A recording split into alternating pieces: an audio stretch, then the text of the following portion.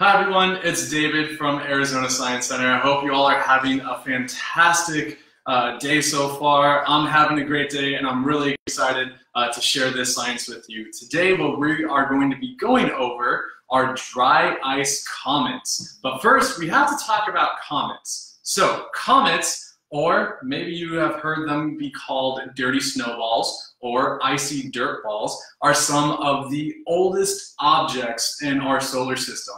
They were actually formed at the time that the Earth was formed as well. Uh, so that means that they're about 4.6 billion years old. And they would be the leftovers after all the planets uh, started forming together, uh, even maybe some of the asteroids in the asteroid belt.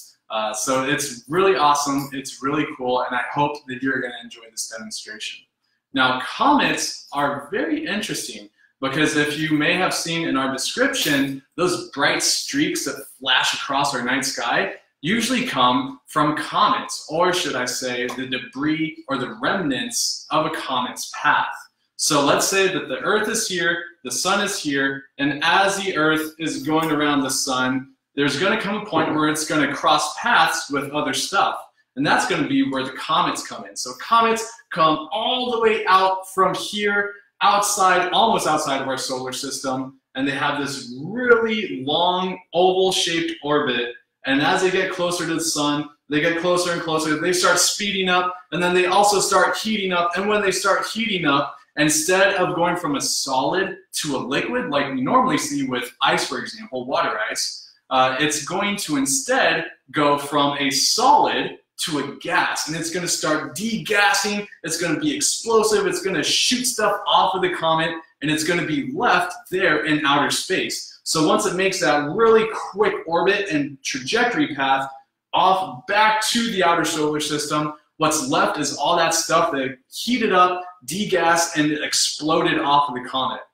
And that's what the Earth crosses when we are orbiting the sun, which means when that stuff gets into our atmosphere, that's what's going to make it streak across our night sky because it's going to heat up again into a bright, brilliant flash, and you're going to see it in our night sky, kind of like a shooting star. So, I know what you're thinking right now. David, why do you have all this stuff here? Well, this is everything that I need in order to recreate a comet here on Earth today. So first things first, I have my PPE, personal protective equipment. I have my lab coat, I have my gloves, and I have my safety glasses right here. And I have some other things as well. I have dirt, water, uh, corn syrup, ammonia, and the main piece, dry ice. But that's the last piece that we're going to add in. So first, what we're going to do is I already measured out two cups of water right in here. We're gonna put it into our mixing bowl. Our mixing bowl is lined with a trash bag and you'll see why in a moment. So let's pour this in. All right. Now what we need is a little bit of dirt, because remember, these comets are known as dirty snowballs or icy dirt balls. So we'll put that in here. And maybe just a little bit more. Awesome. Now, the other uh, component that we're going to throw in is ammonia. Most comets have a little bit of ammonia inside of them. So, to show you that, to model that, we're going to put just a dash of ammonia into our mixture. And another piece that we have is corn syrup. Now, corn syrup is going to represent our organic matter or organic molecules that are in comets. That's actually a fairly recent discovery that we made. I believe it was in about 2017 when we were looking at one comet in particular and we found large organic molecules. Uh, it, it, was really cool, it's really interesting, uh, and this is going to represent that organic matter. So again, we'll put just a little bit in here, maybe two spoonfuls. Awesome. So now that we have all this into our mixture in our mixing bowl, let me show you what it looks like right now. I don't know if you can get the best picture, and I don't want to tip over the mixture as well, but you can see it's uh, quite a lot that we have in our mixing bowl. So now we need to mix it all together to make sure it's nice and even and spread out in our mixture. So I just have this large spoon right here. I'm just mixing it all together, making sure that there are no clumps in our mixture. Awesome, that should do for now. All right, now, this is a really fun part. What I have here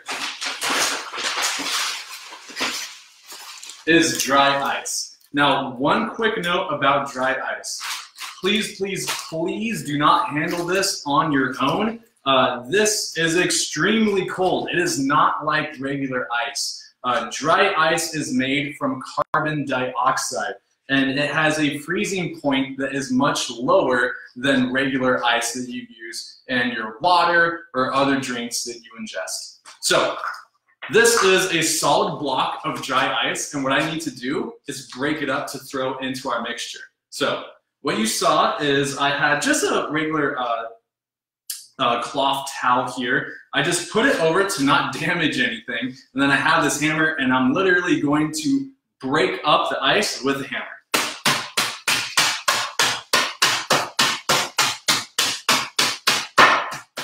I think that was the table that time. Okay, and make sure not to hit your hand as well because that's going to be a bad day for everybody. So now that I think that that's fairly broken up, yeah, that looks great. Awesome. So I'm going to take two cups now of dry ice and throw it into our mixture. And remember what I said about dry ice. It's a lot colder than water. So once I add it to the water, you're going to see it start uh, bubbling over and gas going everywhere. It's going to look really cool. But I need to put two cups in. So watch what happens when I put just the first cup in. Like I said, it starts flowing over. It's a really cool visual that we have here. But I'm not done yet. I need to throw in one more cup. All right. And that's about one cup. And I don't know if you can hear it from there, but it's bubbling, it's oozing. It looks like a, a, cauldron from a Halloween show. But I need to mix this all together because this is a very important part. Once this starts going into the water as it is now, it's going to start freezing everything. So I need to mix everything up to make sure that everything is getting frozen all at the same time. And if you do ever do this, or I can just explain it now, uh, while I am mixing it, I'm trying to mix it into a uh, snowball shape because that's going to be what our comet is going to have to look like and represent once we start forming it with our hands. Okay, so it's starting to get fairly frozen now. So again, this is another very important part that we have to do. I'm going to set this down, and then the reason why we have our mixing bowl lined with this bag is so I can grab the bag and actually form this snowball with my own hands. Now you have to be careful because you don't want to hold it for too long because again, it is very cold. So if you can see me, I'm just trying to press and form it into a snowball while still moving my hands away from it at the same time so that I don't get a freeze burn. Okay, so now that I think that that's all done, let's put it on the plate and see what it looks like.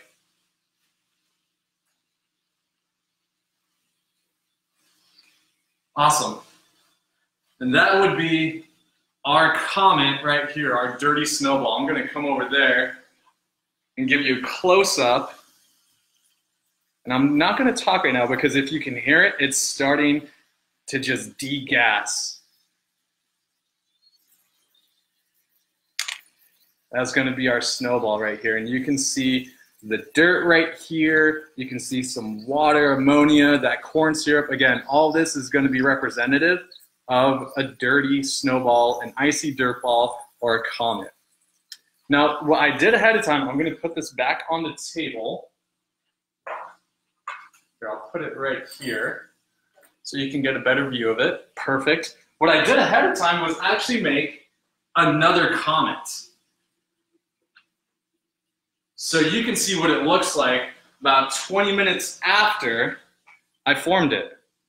So you can see right here, there's some other ice that's forming. Uh, you can actually, if you can see, in the tin, there's water uh, that's starting because it's starting to melt. So you can actually see uh, the water here in the tin. But you can also start seeing some holes that are in our comet as well. Now, again, when our comet gets, uh, when it's heated up by the sun, it's not going to go from a solid to a liquid. It's going to go from a solid to a gas. That's called sublimation, where it just skips a liquid. It says, no way, I'm done right now. It's way too hot. And it's just going to go straight to a gas. And when that happens in comets, it leaves holes behind. So you can actually see holes in our comet that are starting to form. Now, over time, hundreds and hundreds of years uh, in the future, when these comets that are in outer space that are orbiting our sun uh, orbit our sun a number of times, eventually all the ice is going to disappear, and what you're going to be left with is just the dirt and the rock and just a barren comet uh, with no more ice on it. So when it passes the sun on its orbit, it's not going to degas, it's not going to release anything because all that's going to be left is rock. So it's just going to get heat up, it's going to get really hot, and then it's going uh, to just pass back into the outer solar system where it's going to cool down again. Awesome. And if you could still see the one that we just made, you can still hear it bubbling, oozing out. Maybe we could get a close up over here.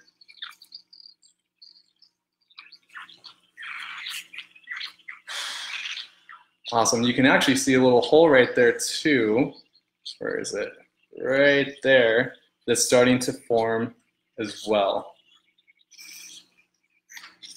So, what did we learn today? We learned that comets have dirt, water, ice, ammonia, even some organic matter, and maybe not all comets, but in some comets. We know that they are incredibly cold, that they have a very long orbit, or an oval-shaped orbit, like an egg, for example. So when it's all the way out in our outer solar system, it's really cold. But as it gets closer to the sun, it heats up, it starts uh, exploding and degassing, leaving parts of the comet behind. So when the Earth orbits the sun and when it goes around and crosses paths with that debris, it's going to create some meteor showers that we see today. Anyways, I hope that you had a great time. Again, this is David here from Arizona Science Center. If you want to see more content just like this, check out our social media, Instagram, Facebook, our azscience.org website where we have a lot of great resources for everyone. And I hope that you have a great day. I'll talk to you later. See ya.